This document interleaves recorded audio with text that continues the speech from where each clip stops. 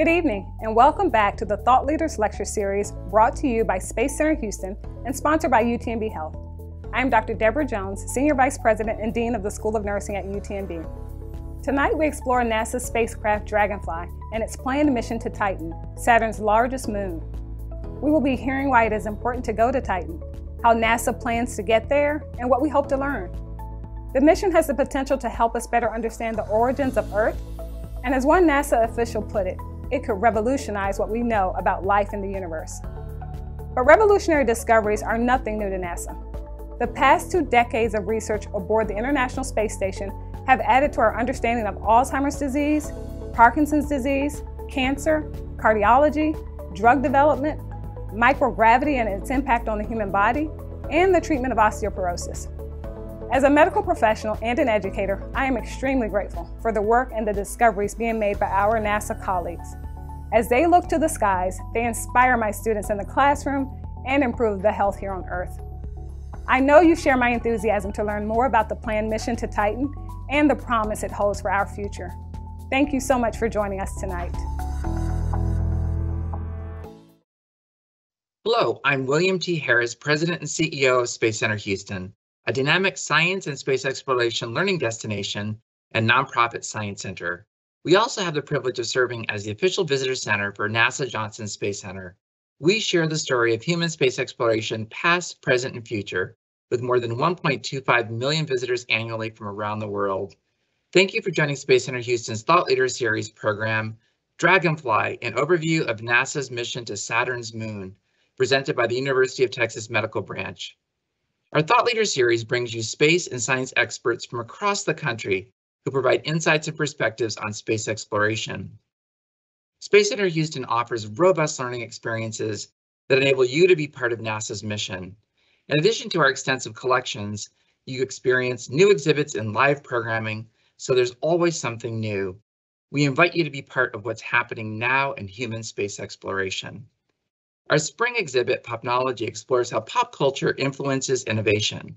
You'll see displays from iconic films of their time, like Alien, E.T., and Close Encounters of the Third Kind. Popnology is open now through May 1st, 2022. NASA continues to explore our solar system and will launch the Dragonfly mission in the coming years to explore Saturn's largest moon, Titan.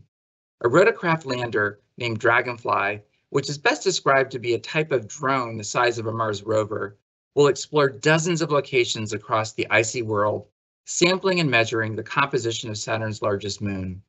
Our conversation today will focus on the Dragonfly mission. How will the vehicle get there? How will it do its work and what will be involved?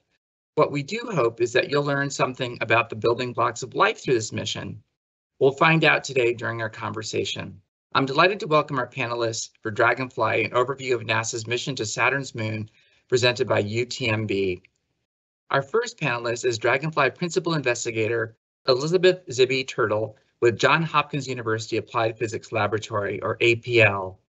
Dr. Turtle is a planetary scientist at the Johns Hopkins Applied Physics Laboratory. Her research combines remote sensing observations and modeling of geological structures and their implications for planetary surfaces, interiors, their evolution, including impact cratering and tectonics on satellites and terrestrial planets, and lakes and seasonal weather on Titan. She is the principal investigator for the Dragonfly New Frontiers mission to Titan, principal investigator for the Europa imaging system on Europa Clipper, and participated in the Galileo, Cassini, and Lunar Reconnaissance Orbiter missions. She earned a PhD in planetary sciences from the University of Arizona and a Bachelor of Science in Physics from the Massachusetts Institute of Technology, or MIT. Dave Buecher is a Lockheed Martin program manager for NASA's Dragonfly mission under its New Frontiers program. He also supports NASA's Europa Clipper mission. Previously, he successfully designed, led, and executed various hardware and systems in support of NASA's Mars Science Laboratory, Juno, Mars Atmosphere, and Volatile Evolution, MAVEN, interior exploration using seismic investigations, and Mars 2020 missions. So many interesting programs. Through these roles, he developed extensive experience in engineering spacecraft structures, mechanisms, solar arrays, and entry systems. Dave has earned multiple NASA Achievement and Lockheed Martin Innovation, Teamwork, and NOVA awards for his leadership in flight technical applications. Our third presenter is Ralph Lorenz, who has worked as a mission architect since 2006 at the Johns Hopkins University Applied Physics Laboratory, where his activities have centered on Titan, Cassini-Huygens, and future missions. Previously, he was an engineer for the European Space Agency on the design of the Huygens probe to Saturn's moon, Titan, and a planetary scientist at the University of Arizona. His interests include Mars, Venus, dust devils, sand dunes, planetary atmospheres and landscapes, and aerospace systems. He is associated with NASA's InSight mission, the Japanese Venus Climate Orbiter Akatsuki, and is the mission architect for Dragonfly, NASA's New Frontiers mission, a rotorcraft lander for Titan. He's also the author, co-author of nine books, including Titan Unveiled, Spinning Flight, Exploring Planetary Climate and Space Systems Failures, as well as over 300 journal publications. Welcome to all of you. Our panelists will now provide more information about their backgrounds and the scope of their work. Then we'll get into our conversation and we'll begin with Zibi Turtle. Thank you so much. Uh, it's a pleasure uh, to be speaking with you virtually about the Dragonfly mission. Uh, as um, as most planetary missions, Dragonfly uh, is the uh, the work of a large team of people. Hundreds of people around the around the world are working on the the Dragonfly mission. This is uh, the group of us, or some of us, at our team meeting last fall, as we were pleased to be able to start to have at least partially in-person meetings. We had a hybrid meeting. The work I'm going to be presenting is reflective of this, uh, the work of this large team of, of people. Why do we want to go to Titan? We don't know how life came to form on Earth, and it's difficult to study the history, the prebiotic, the pre-biological history here on Earth because everything's overprinted by biology. So places elsewhere in our solar system provide clues about the processes that may have eventually led to life here on Earth. And in many ways, Titan is most like the early Earth, especially in terms of its chemistry. So we looked at Titan to uh, find pieces to the puzzle of the uh, chemical origins of life here on Earth. So Titan is the largest of Saturn's 62 moons, and it stands out here in this uh, in this graphic, uh, not only because it's larger than the other moons in the Saturnian system, but also because of its atmosphere. Titan is unique among the Saturnian satellites, but also among the satellites in the solar system in that it has a dense atmosphere. And this atmosphere is actually different not only from the satellites, but it's actually different from most of the planets as well. And so Titan is shown here to scale with other uh, bodies in our solar system. It's actually between Mercury and Mars in size, but its atmosphere is denser than Earth's atmosphere. So it's actually the second densest atmosphere in the solar system of the bodies with solid surfaces, with uh, atmospheric pressure about one and a half times that of the atmospheric pressure here on Earth. So we have explored Titan with a number of spacecraft. The Voyager spacecraft flew by and showed us several decades ago Titan's atmosphere, and the Cassini spacecraft peered through that atmosphere to map out the surface and revealed the presence of a deep interior liquid water ocean. So Titan, like many of the icy moons in the solar system, is actually an ocean world. And the next slide shows the Cassini spacecraft and the Huygens probe. These were two missions designed to study the Saturnian system and Titan itself. Cassini was an orbiter at Saturn, and among its uh, many, uh, many scientific discoveries was mapping the surface of the moon Titan. And the next slide shows the map of the surface of Titan in the near infrared. And so what we're seeing in this enhanced color view is that there are different materials uh, across the surface of Titan. But what we don't know from Cassini is the detailed compositions of these materials, and that's what we want to study with the Dragonfly mission. Cassini carried with it the Huygens probe built by ESA, and this probe was designed to descend down through the atmosphere to make measurements of the atmosphere itself and to uh, send back observations of Titan's surface. And indeed, this view here is the view of uh, Titan's surface that Huygens sent back from its landing site near the equator on Titan. And you can see to scale our moon on the far right there, giving a sense of the, the scale of the features that Huygens imaged on the surface of Titan. So Titan has all of the key ingredients we know to be necessary for life, certainly life as we know it. There's energy, and this energy drives photochemical reactions in Titan's atmosphere, the uh, result of which is uh, complex carbon molecules, organic molecules that fall out through the atmosphere, make the atmosphere quite hazy, which is why the, the early images show the atmosphere and not the surface. And this material falls out onto the surface where it's had the opportunity to mix with liquids, both liquid water when the crust the icy crust of the moon is melted by impact cratering or perhaps by cryovolcanism, but also liquid methane. Titan's atmosphere has methane in it that plays the role that water does here on Earth. So Titan has methane clouds and rain and lakes and, and seas even. Uh, so the liquid methane on Titan could potentially provide uh, the opportunity for exotic biological systems. So what we want to do with Dragonfly is to uh, look for answers to fundamental questions. Uh, what makes a planet, or in this case, a moon, habitable?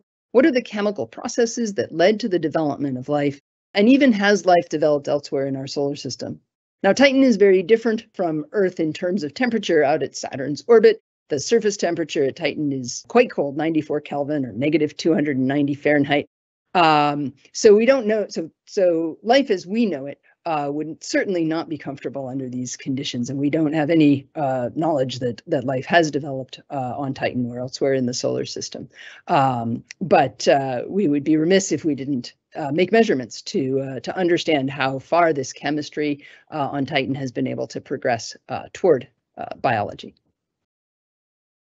And Dragonfly takes advantage of Titan's atmosphere to travel from place to place. We know from the Cassini mapping of the surface of Titan that there are a lot of different environments, different geological settings, and we want to explore the compositions of the materials in these different environments to understand how far organic synthesis can have progressed in an environment we know has the key ingredients for life.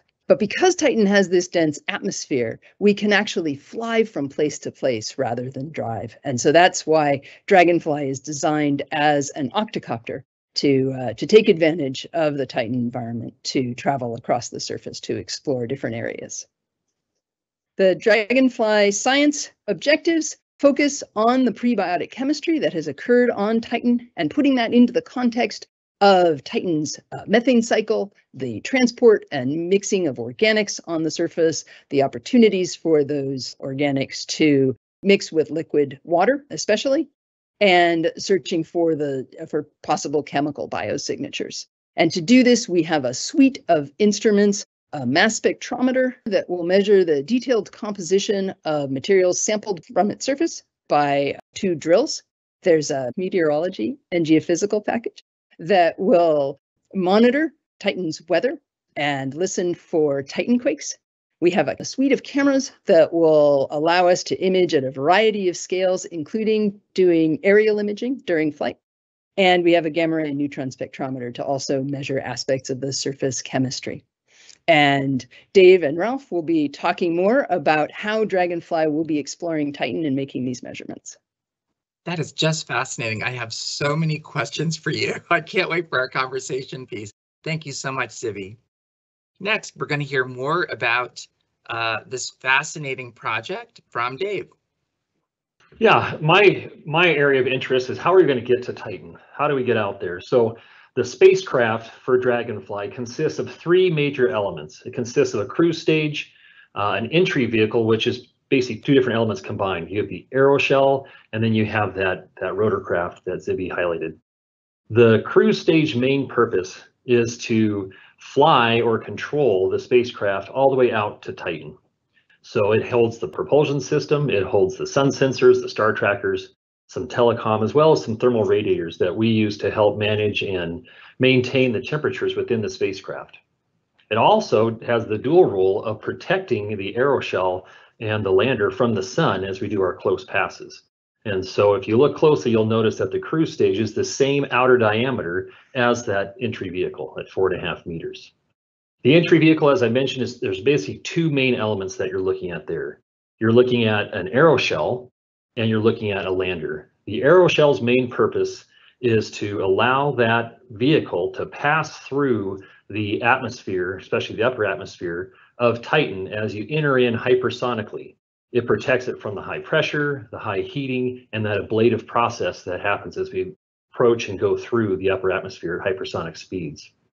Once through the atmosphere, the aeroshell then separates and allows the lander to be exposed. We'll then, uh, we call it posing, we'll then pose the lander down below the aeroshell and it'll fly off the bottom of the aeroshell. So each has its own function overall as it's cruising out to Titan, and we'll go into the next uh, area here to talk through that. So how long does it take to get to Titan? Well, it's taking us approximately eight years. From once we launch and separate from the launch vehicle, we'll cruise on out about eight years out to Titan. Once we release from the launch vehicle, we will be spinning and spin stabilized on our cruise out to Titan.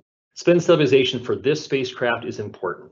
If you notice, it kind of looks like a wheel where it's got a lot of that outer diameter and the mass out there with a short pancakey type look to it. And that's important to have those inertial properties.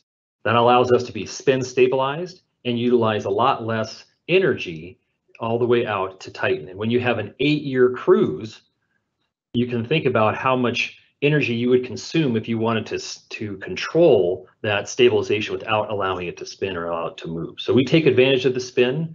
It allows us to be stabilized as we go on out. For that eight-year cruise, the spacecraft will go in and out of hibernation modes to conserve power. Well, we'll basically put it into hibernation, cruise for several months. We'll wake everything up, make sure everything is good, make sure the temperatures are all good. We'll talk back to the Earth.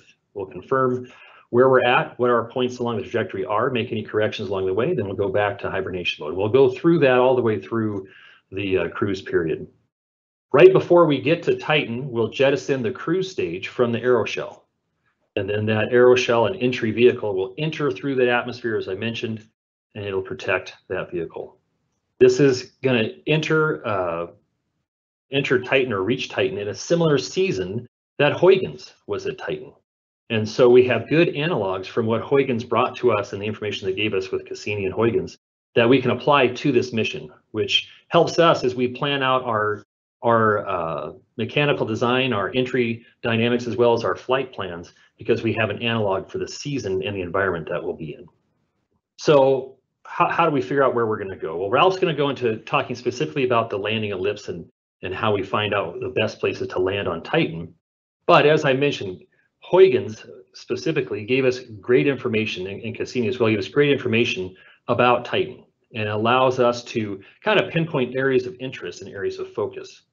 And so as we plan and look to areas that we can land on, that also ties into how we design the aeroshell and, and how we're going to protect things getting down the surface. It also drives the, the design of the lander or the, the octocopter. What does its travel distance have to be? What are its flight mechanics have to be? And as Zibi mentioned, we take advantage of the high density or the increased density that Titan offers, as well as the lower gravity than Earth. And that combination allows us to fly greater distances and utilize a rotorcraft spacecraft. Landing on Titan is tough. With the Dragonfly mission, like our Mars missions, we're doing a direct entry landing for this mission. And what that means is instead of going into an orbit, circling the planet several times, and then looking for your entry, we're going to go for a, a direct trajectory that enters directly in the atmosphere. So after we separate from the cruise stage, it'll will align ourselves to where we want to enter in the planet. It'll enter in and autonomously go all the way through the atmosphere. After it passes through peak heating and peak pressure, the pilot parachute will deploy. It's still going supersonic speeds at this point, and the pilot parachute will help stabilize the overall aeroshell and that entry vehicle, decelerating it as well. It'll decelerate naturally just due to the increase in density, uh, atmospheric density as it uh, descends down. As it continues to slow down, the main parachute will be deployed and the pilot parachute will actually draw the main parachute out of the top of the aeroshell, further decelerating the entry vehicle. After we are subsonic in our speed and we have descended low enough uh, through that atmosphere, we'll then release the heat shield because we're well past any peak pressure and peak heating at that point. As I mentioned, we'll pose the lander down and basically what we're doing is we're moving the lander down so that the rotors are below the back shell, the back half of the aeroshell. This allows us to spin up the rotors, stabilize the vehicle, and then fly off the bottom. And I turn it over to Ralph to talk more about what we're going to do once we get onto the surface of Titan. Great, Dave. Thank you so much. Absolutely fascinating. It's always remarkable to me that it's probably easier to find a needle in a haystack than to get a small vehicle like this onto the surface of a planet that's so far away from Earth. Next, we'll hear from Ralph, and then we'll get into our conversation. Yeah, well, after the the epic uh, journey through space and the hypersonic entry and all the drama of the parachutes, that's when the fun really starts and we uh, fly uh, with um, with Dragonfly's rotors uh, to its first landing. Dragonfly has been a really fun project to work on because there has been nothing anything like it before. Um, the the vehicle that you can see on the slide, you know, as um, looks the way it does because it needs to do certain things, and and those things have not been done before. So big picture, it's like a like a drone. It's got rotors on the corners, and you differentially throttle them to to tilt and, and fly in a chosen direction. But you know, we are a billion miles from Earth, and we have to get any data, any pictures uh, from Titan uh, to the Earth without the benefit of any any relay satellites or anything like that. So we have a, a big uh, antenna, uh, kind of a dish uh, on the roof that we we fold flat for for when we're flying, but on the on the ground we'll aim at the Earth uh, as it moves through Titan's sky. Titan rotates very slowly once every um, uh, 16 Earth days. So we'll have a, a, period when we can communicate with the Earth and uh, send up commands and um, and receive the, the data. The vehicle uh, has a, a, drill on each uh, skid in order to take the surface material to bring it inside to to analyze it. You know, when you want to drill, you want to put lots of weight on the drill, and that's something that doesn't usually happen on a, a helicopter right? There's some very, very interesting tensions in the different uh, design factors uh, that uh, influence the, the vehicle you see. It's not very pointy, right? It's not very uh, streamlined looking. We'll improve that as the design gets refined. But because the vehicle has to fit inside the aeroshell, you know, it, there are constraints on how slender we can make it. So it has a, a somewhat blunt nose because it, it's got to fit inside the protective shell. And just so you have a sense of scale, uh, the rotor blades of uh, Dragonfly are about um, about 1.4 meters uh, across, and Zibi's there for uh, for scale. So what what you have to do in in planning a mission like this is kind of transport yourself mentally to this alien environment to try and anticipate all the different interactions of the the hardware with the material and the uh, the temperatures and the other conditions. So the rotor blades are optimized for uh, the uh, denser atmosphere and actually the, the low temperature influences the viscosity of the atmosphere. So actually the rotor blades are a bit more like those used on, on bigger structures on Earth, like uh, wind turbines. The low temperatures would uh, freeze everything eventually on, on, uh, on Dragonfly if we didn't have a way to keep warm. And uh, one of the, the best ways of, of doing that and providing electrical power is with a, a radioisotope power source. Uh, it's just like the system used on the Perseverance and Curiosity rovers, but it's really critical for us that we get the the, the heat from uh, this system uh, as well as the power. The electrical power is only about 100 watts, about you know enough to run a light bulb or two, um, but we we get a lot more than that uh, in the form of heat uh, from the vehicle. And We keep that inside uh, inside thick insulation um, we have to figure out what uh, strength the winds are. That affects how precisely we can land. We have to design the cameras to accommodate the light levels on Titan. Right, Titan is 10 times further from the sun than is the Earth, so the light levels are a lot lower. I mean, it's still a lot brighter than moonlight, for example, but you have to take that into account in designing the exposure times of the camera and it's a moving vehicle it's flying so you know exposure times trade off against vibration and things like that We have to design the drill and the sampling system for how hard or how sticky we think the surface material is. There's a you know a lot to lot to take into account. But as Dave noted, you know we have the Cassini and Huygens data to to build on. So you know there's enough material uh, information in in in those results to to fill several textbooks that have uh, been written since, and there's a, a popular version here. So the way Dragonfly will work exploits the 16-day day-night cycle on Titan. 100 watts of output from the uh, radioisotope source is not enough to fly. In fact, it's not a, not enough to do a lot. So what we do for the entire Titan night, you know, eight Earth days, is just trickle charge a big battery. I mean, it's it's you know comparable with the size of batteries used in uh, electric uh, electric cars.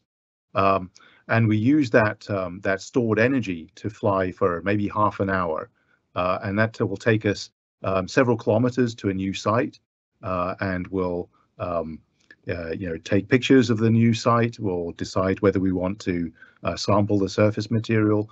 We radio that data back to the Earth. We'll think about it, uh, and then when the sun sets on Titan, um, the vehicle will be out of contact for for eight days, and it'll just recharge. It'll be doing passive measurements, you know, looking at the weather, uh, listening for, for Titan quakes, but basically it will be uh, hibernating for, for that period.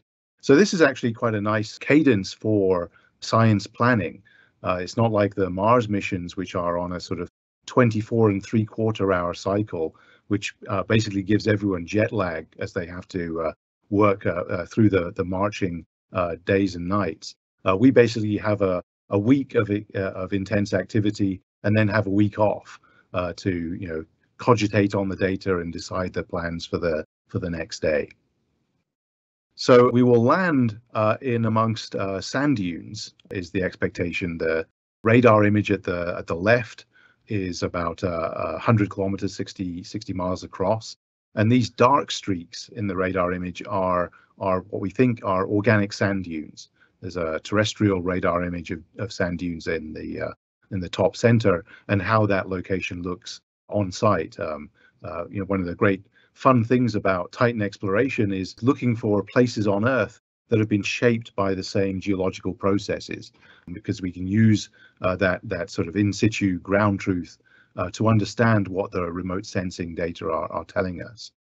And then the on the right is kind of a zoom out showing a crater uh, Selk that you saw in the earlier pictures. And this is a particularly interesting place scientifically because the impact cratering event we think has driven some particularly interesting chemistry involving uh, liquid water when the crater formed. Craters tend to be rugged, so the crater isn't maybe where we would choose to go straight away. We'll land at the dunes first, where we, we believe there's lots of flat areas uh, for the vehicle to land safely in, and then we can scout around. Uh, of course, we can't um, control the vehicle in real time because Titan is a billion miles away. It takes radio signals an hour to get there and an hour to come back. So the vehicle has to be autonomous in the sense of flying itself straight and level, but we'll tell it where to go. And in fact, after that very first landing, after we pop out of the, the parachute, um, and and land where Dragonfly finds a, a safe spot among the dunes. Uh, we can um, actually scout out future landing sites by flying over them. We have sensors, a, a lidar, and cameras to check check what the terrain is like.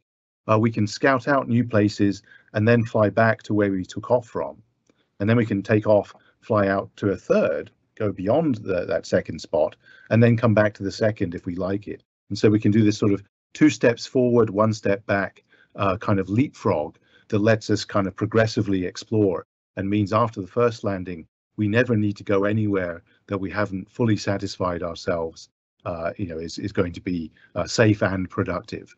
You know, the great feature of mobility is that it lets us uh, sample different kinds of terrain. Um, Titan has a, uh, a very varied landscape, as we've seen from the Cassini data, and by um, by being able to explore on on kilometer and and tens of kilometer scales, we can really uh, sample the sort of compositional richness of this environment. Uh, we'll also fly a, a, profiling flight to look at the structure of the atmosphere to understand the weather a bit better. Um, so the the mobility that that the you know three-dimensional flight gives you uh, really um, lets us satisfy our curiosity in a, a whole range of scientific disciplines.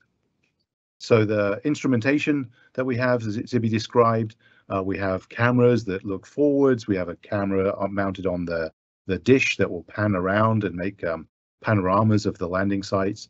We have cameras that look down, and even a camera that looks kind of close up at the at the individual sand grains, so we can try and understand where the sand comes from. Uh, we have an instrument that that shoots out uh, neutrons, um, energetic particles, to excite radiation in the surface, and by looking at that radiation, we can tell what the surface is made of before we even decide whether to use the drills or not. So that's kind of a, a novel instrument. As Zibi mentioned, Titan is a, an ocean world. We think there is a liquid water ocean, maybe under a, an ice crust of a 50 or 100 kilometers uh, thick. And one of the ways we'll have to to measure that thickness is with a seismometer, actually a seismometer uh, contributed by the Japanese Aerospace Agency, JAXA.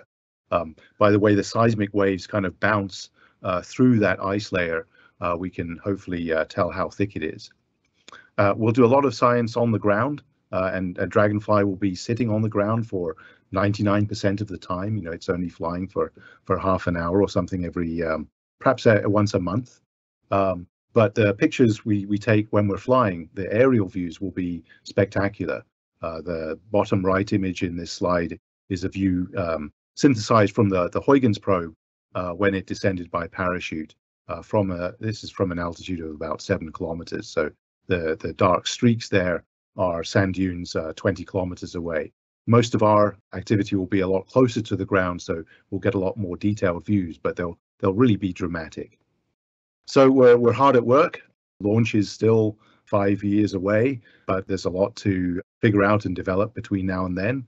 Uh, we use a lot of computer modeling, of course, computer simulations of the airflow, you know, how the downwash from one of the rotors impinges on uh, the others, uh, you know, how much drag we get at different uh, different orientations, you know, figuring out how the vision system will be able to autonomously pick out uh, hazards on Titan.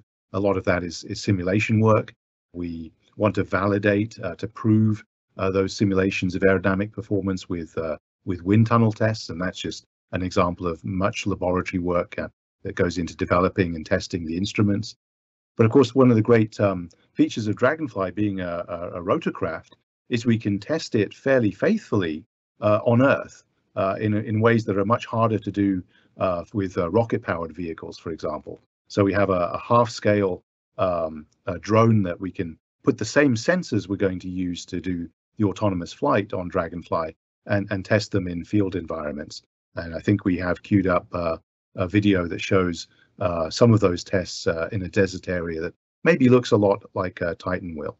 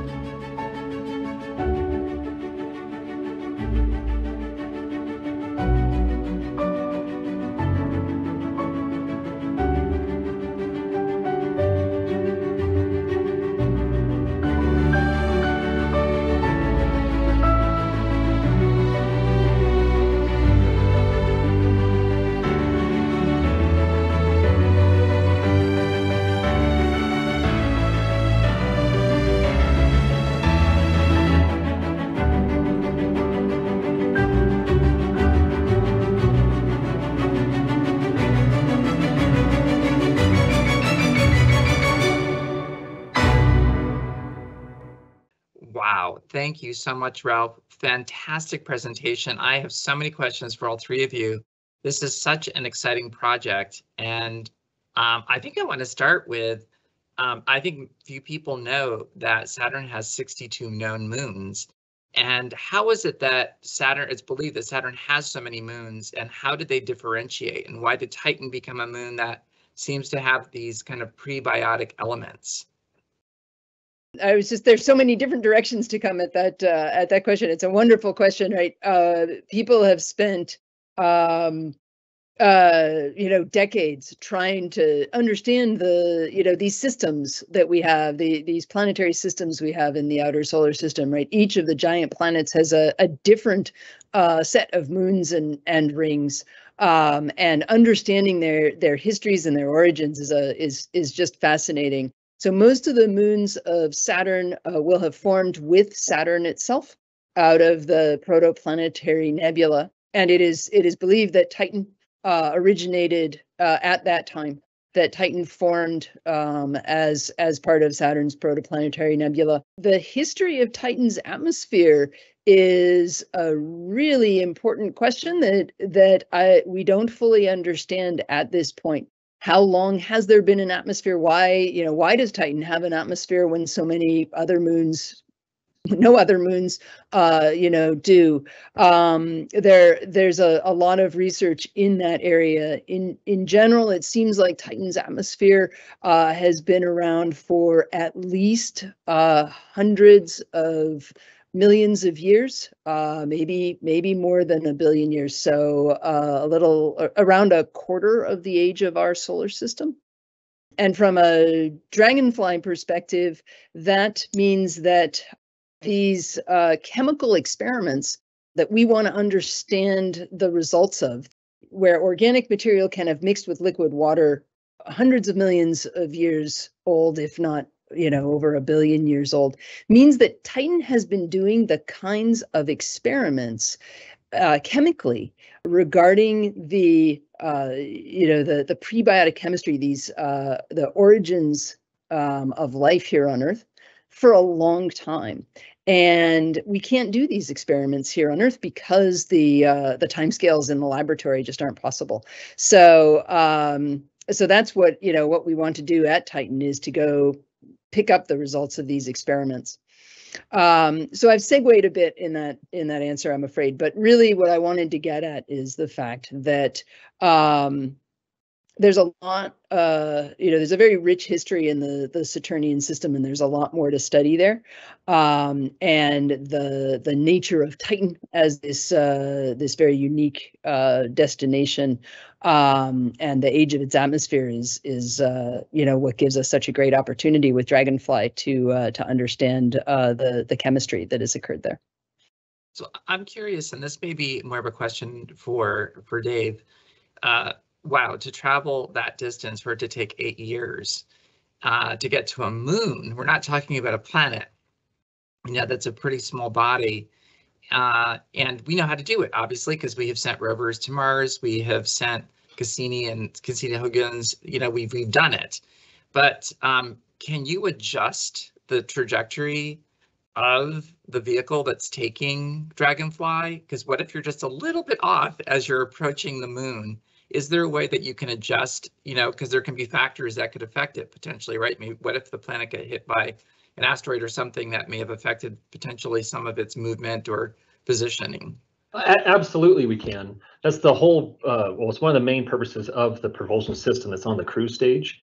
So as I mentioned, the spacecraft's a spinning or st spin stabilized spacecraft. So we'll spin about two RPMs and that will stabilize us as we fly out there. But nothing's perfect right? We'll try and get the center of mass right where it should be, but there still is some amount of precision that that's in there, as well as your navigation as you go out there. We we understand, or we think we understand, the gravity of, of the different systems and the things that'll pull on the spacecraft as it travels out there, but there still are course corrections to make along the way. And so part of that that eight years is, as I said, we'll go into a hibernation to conserve power, but also we'll wake up We'll evaluate where we are. So we have the star cameras to take pictures and, and navigate ourselves along the way. And we'll make course corrections throughout those eight years so that not only do we get to Titan when we want to, but we'll also align ourselves so that we're entering Titan where we want to. That is absolutely fascinating. The other thing that you were all sharing, which is interesting, is the pre the pressure per square inch, right? The atmosphere on Titan and hearing that it has these elements of methane oceans and carbon and volcanic activity, etc. So that sounds to me that there is climate. And so um, have you begun studying the climate of, of, of Titan and how will how could that affect the mission? Um, especially as you know, when you're coming in for a landing, you're coming into a landing, especially when it's a direct. And what if there is a storm happening on, on some portion of, of Titan? Are those factors that you've considered? The, the climate of Titan is is a fascinating subject in its own right. I mean, it's the one of the four main climates in in the solar system. You know, Mars, Venus, uh, uh, uh and Earth. Uh, and the fact that uh, Titan has um, methane that can condense, that forms clouds and rain and rivers, um, you know, makes it one, you know, perhaps the most interesting apart from our own. Um, we have the advantage of um, uh, what was it, 13 years of Cassini observations, uh, and we have now quite quite well calibrated and quite powerful uh, weather prediction models for Titan that um, accurately reproduce where we where we see the clouds. They're very seasonal actually, uh, and predict the uh, the pattern of the dunes on the surface. So we believe we understand the the climate well enough uh, to plan the Dragonfly mission. The the Huygens uh, profiles give us an estimate of the winds at the same latitude and season that Dragonfly will arrive. Um, but we are you know continuing to to refine uh, the models and our understanding and the you know within a day of dragonflies landing um, you know our models will improve so much more because we'll have a, a weather station right there on the surface. Fascinating Zibi do you have something to add to that about the weather?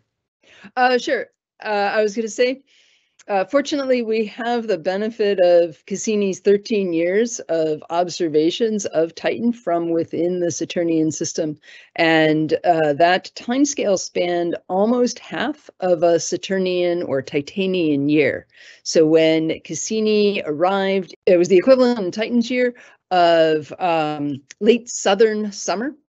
And when the mission ended, it was just after Titan's uh, northern summer solstice. So basically from uh, say mid-January to the end of June in Titan's in Titan's year. Um, so we got to got to watch the weather over that time frame and we could see that the weather patterns the clouds uh, tended to follow where the sun uh, where the um, the the latitude of the sun um, and so when when cassini arrived the weather uh, was primarily at Titan's south pole, and then it progressed northward as we went through the equinox to uh, to northern summer. Uh, when Dragonfly arrives, it will actually be basically one Titan year from the time that uh, that Cassini um, arrived in the Saturnian system and when the Huygens probe descended down through Titan's atmosphere to its surface. So we know what the, the weather and the atmosphere at Titan was like at this time in its year. And um, uh, and we know that the um, at least in Titans last year, most of the weather at that time was at the South Pole. And we w- wouldn't expect to see weather systems, uh, clouds, and, and rain near Titan's equator for several years after Dragonfly is scheduled to arrive. That is just fascinating. Just a, one other thing to add, actually, on that. Yes. Um, so Ralph and Zibi brought up um, there is a dynamic weather system, and that we do have data on that and that feeds and, and Ralph highlighted that we have models of that that too, and that feeds our entry um, analysis and our entry planning, and that's why you see a landing ellipse, not a landing point. So we take in consideration the potential winds, both if they were low or if they're high, and, and everything in between, as well as dis, uh, density variation, temperature variation, uh, entry time variations, and all that gets kind of swirled together through Monte Carlo analyses and different entry analyses. And that's how we develop that landing ellipse to say, here's the landing area that we can, can land in. It takes in, just as they mentioned, those variables, but also we recognize that it's not going to be 100% analogous to the day that, that Cassini measured and, and you know, to the day, but it'll be somewhere in that range. And we take all that data together to predict that landing ellipse. That is fascinating. We know there are other factors that can affect the trajectory of this mission, and I'm curious, uh, did you factor in or have to consider solar flares from the sun or cosmic radiation that might be pulsing? Because it's a long journey, and there, there can be factors, even though it's very, very tiny ship, you know, going through the vastness of space.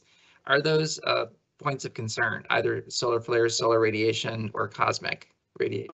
solar flare solar radiation, yes, from a survivability standpoint of the hardware itself. And so we uh, insulate and isolate the hardware, and we look at how much, quite particularly, how thick the metal is on it to isolate it from those radiation environments. But from actually pushing the spacecraft, you know, one way or another, um, it's pretty massive, right? We're we're talking about, uh, you know, a thousand kilograms ish um, in the lander alone.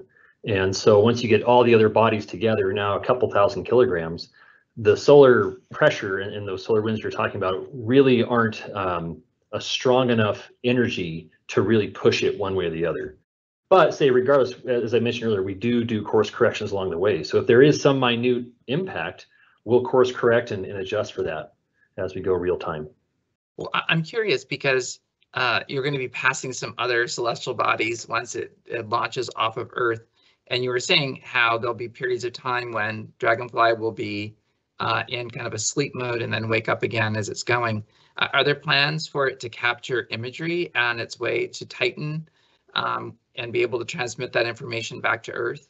Uh, unfortunately, right now, not presently. So we have no outward looking cameras outside of or mounted to the cruise stage or outside looking on the aeroshell to take any celestial pictures uh, along our cruise out. And uh, it was kind of highlighted earlier with our power source that we have, it, it only, it's like a trickle charge, right? We're only trickle charging that battery. And so we're using the, the primary power of that battery to uh, manage the spacecraft itself. And so all that power is utilized for that. Is there a lifespan for Dragonfly that you hope? I know uh, there's a great history of rovers and these other exploratory vehicles that have gone to the celestial bodies going on for years beyond what was anticipated, you know, and I think of course in Ingenuity, yeah, you know, which is still flying on Mars and sending back data and really helping to support the mission with the Perseverance rover. What, what is the anticipated period of time that Dragonfly will be exploring the surface of Titan?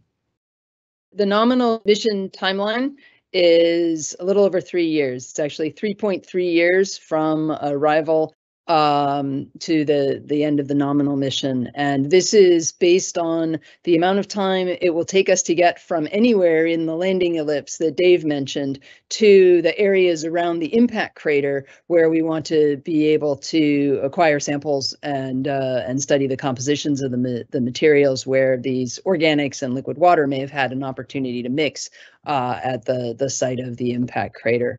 It's it's possible that the the mission could last longer. The power source will supply will the power source uh, will uh, continue to supply power after that. Um, Dragonfly not only gets power uh, from the MMRTG but also heat.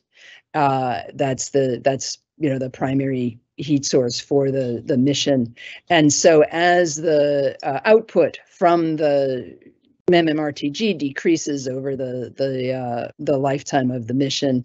Eventually, it will stop putting out enough heat uh, for for Dragonfly to keep its interior warm, uh, but that is a, a, several year time scale. So there is uh, there's margin in that uh, 3.3 year nominal mission.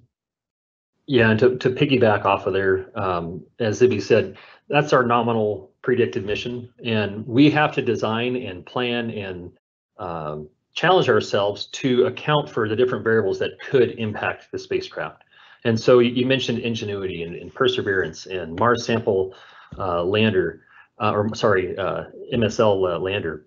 Um, all those different missions, they did the same thing, and, and and that's kind of the heritage that we all have worked in, where we have to design it for to meet our primary objectives, but accounting for these worst case um, environments and, and worst case things.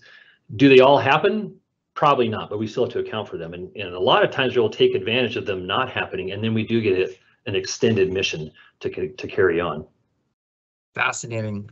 So I'm curious, what are some of, are you learning lessons from Ingenuity uh, that are helping to inform this? I, I know that uh, Dragonfly is very well developed and the target date for launch is still several years away.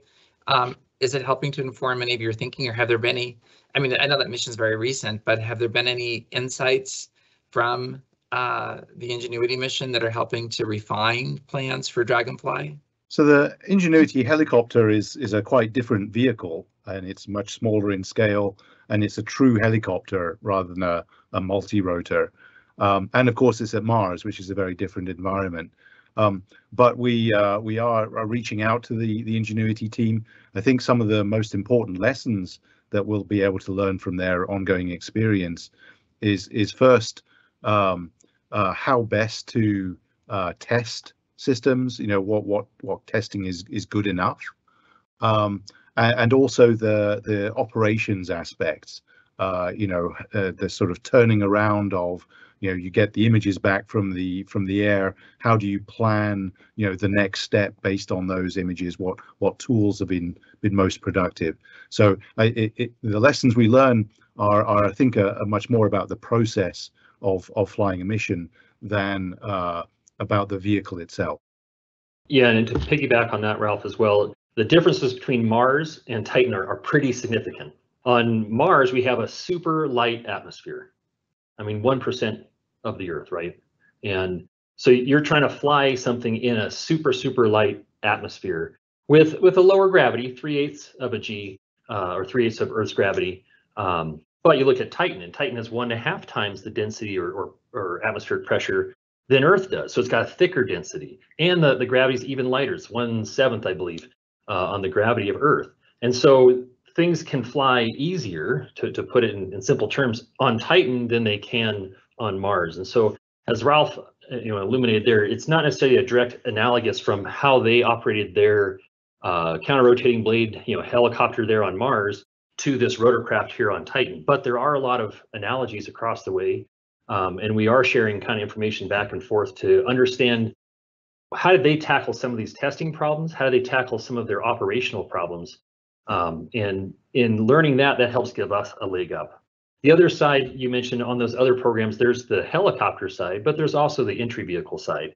And we do take advantage quite a bit from MSL and uh, Mars 2020 or the Perseverance um, mission, where those are also both four and a half meter aeroshells, similar in size to the Dragonfly aeroshell. And so we can take all of those, those rich lessons that we learned from designing and fabricating those aeroshells as well as some of our other uh, aeroshells we've designed as well, and roll that all into Dragonfly. And we're so much so we're taking advantage of, for instance, the Genesis uh, geometry of that aeroshell that has previously flown, but but now it's four and a half meters instead of you know 2.1 meters.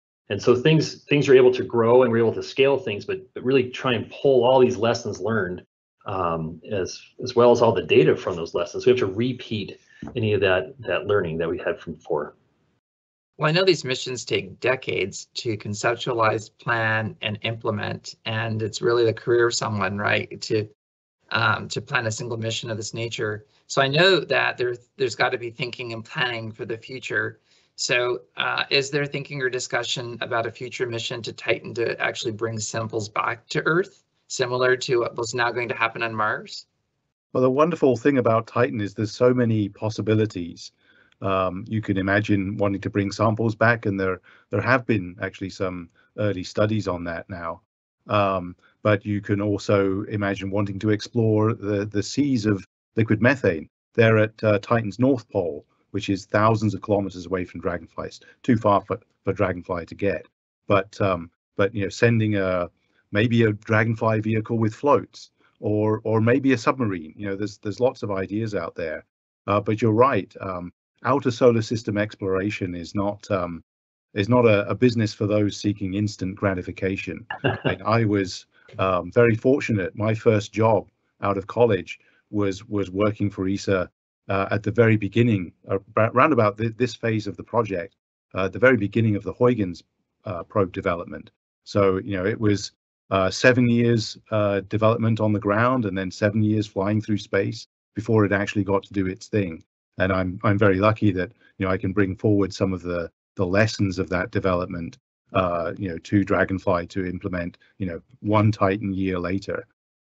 Fascinating. Well, I wanted to switch to a more personal side. Many of our viewers of this program are either students or people earlier in their careers, and you all are remarkably accomplished and have incredible insights. How did you get to where you are today?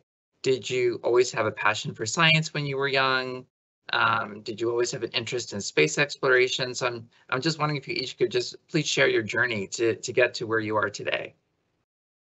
Um, I I have indeed always been interested in the planets and the stars and the the sky. My father and grandmother, you know, knew all sorts of things about the you know the the moons and the planets and the um the constellations. We would go out and look for comets. We would go out and look for meteor showers when I was a kid. So I really did kind of grow up being interested in space and in the the time frame when Voyager was moving out through the solar system. And so one of the things that that uh, uh, taught us, among everything we learned from uh, from Voyager's exploration, and then subsequently, uh, you know, Galileo and Cassini exploring the outer solar system.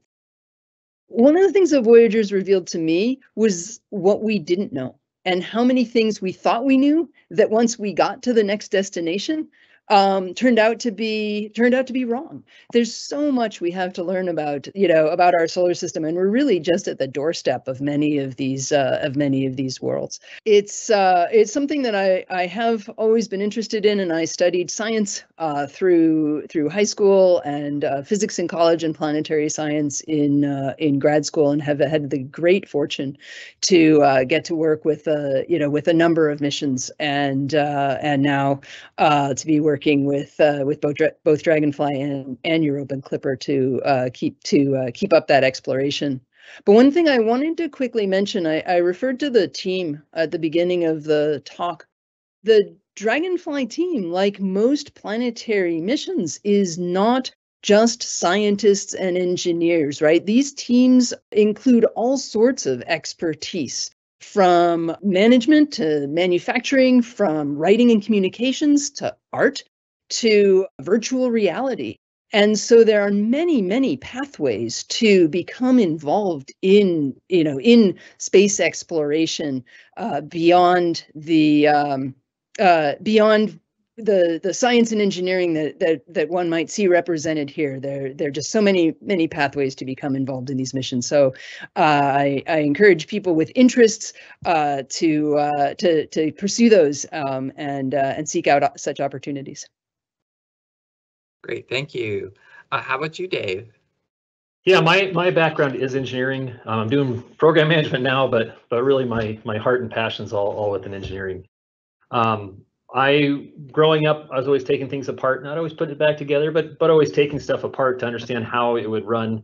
Um, I can remember taking my dad's rototiller apart when I was a little kid, and I think it stayed apart even after I graduated college. But I learned a lot in that in that process.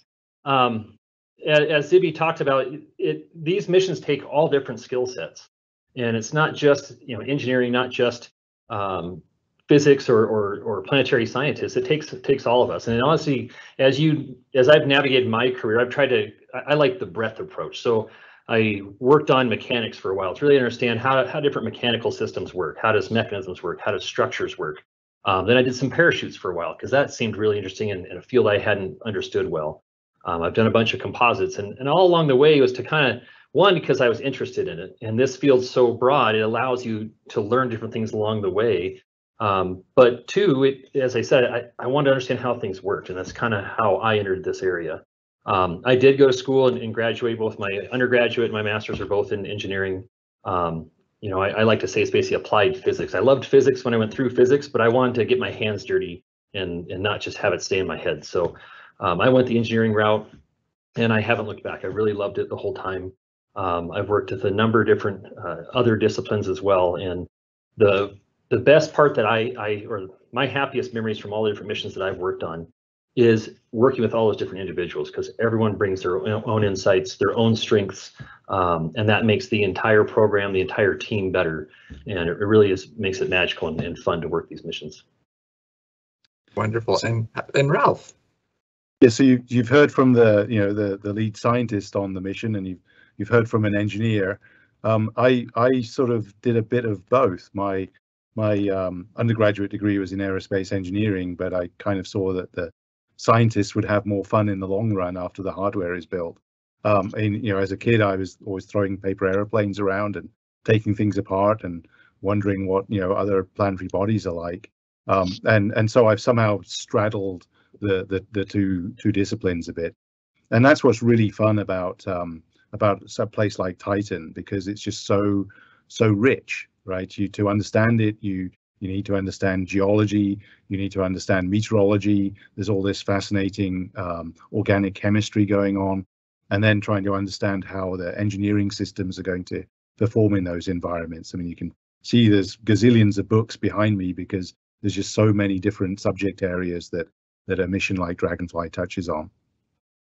Well, the thing I hear from all of you is passion and that you all love what you do. And we always say that to our viewers that follow your passion, follow your interests, and it's good to change paths and pursue things that you find interesting and fascinating. So along those lines, how can our viewers follow all of you or follow this project if they're interested in learning more about Titan and how the project is evolving? Uh, we have a, a website where we are providing information about the project, new releases about uh, activities that we're working on. You know, there's there's a lot to come. Although although launch in 2027 sounds a long way away, there's a lot of work going on right now by a whole lot of people as we take each step along the along the way. Uh, Ralph showed some of the the test activities that are going on, and that's that's uh, that's certainly some of what we'll be keeping updated on uh, on the website. Um, and there's also a lot of science research uh, going on um, in parallel uh, uh, based on the, the data we have from Titan and models um, models about Titan. So there's there's a, a lot going on, and we'll certainly be keeping people updated that way. And uh, in your introduction, you you noted I, I've written nine books. Um, I actually have the the tenth coming out this year, which is about um, about ingenuity and dragonfly. You know, just kind of comparing and contrasting uh, the different vehicles and their their different goals and uh, their different environments. Yeah, and something else I would highlight as well, mainly for the college students that are out there um, and interested in aerospace, interested in these missions. Um, APL, Lockheed Martin, you know, a lot of these companies, even NASA, we have internships in the summers. And so I would really recommend they also go out to NASA's webpage, go to Lockheed's webpage, go to uh, APL's webpage, go to the, the different um, uh, programs that you're interested in, and chances are there may be an internship available in the summer that you can apply to. The thing I will say is is do it early, right? So look at that in in basically the fall before you want to do that internship. So start looking at it in August, September, October, November, and, and all these positions start coming out in that time span to try and look for that uh, following summer. But those are great opportunities to have a little snippet and get paid, have a little snippet uh, on a mission and, and work in space and get paid while you're doing it and, and learn and work shoulder to shoulder with, with all these great people. Well, thank you. Thanks, Dave. That. That's a, oh, I'm sorry, William. I wanted to thank Dave for uh, uh, for mentioning that. Uh, and the website that I referred to does have a, a student opportunities link as well on that uh, on that website. Well, thank you all for that great advice and insights. I have a final question, then we're getting close to the end of our time. Where will Dragonfly actually be fabricated? Has that been determined? Well, which part, right? Fa fabrication's a, it's a hard line in the sand. I'll, what I'll say from the macro level, the rotorcraft APL is designing, building, testing, and and and basically pulling that whole uh, rotorcraft together. Lockheed Martin's doing the aeroshell and the cruise stage. And then for the spacecraft level, though, that integration and uh, testing will happen kind of across the United States. Some of it will happen here uh, in Denver at Lockheed Martin. As the lander will come here, we'll do some testing, some integration activities here, and then we'll go out to the Cape where we'll integrate it for the final time, put it on a launch vehicle and launch from uh, the Cape at the Kennedy Space Center, I should say. Oh, fantastic. Well, I could keep talking to you guys for much longer, but we've come to the end of our time. Thank you so much for sharing the on incredible information about Dragonfly, and I think we want to have you come back in the future as the project continues to develop and we get closer to the date of the launch. So again, thank you so much for part of being part of this fascinating conversation. And please follow Space Center Houston on our social media and check out our other Space Center Houston blog for more information about future programs. Have a great rest of your time. Thank you. Thank you. Thank you.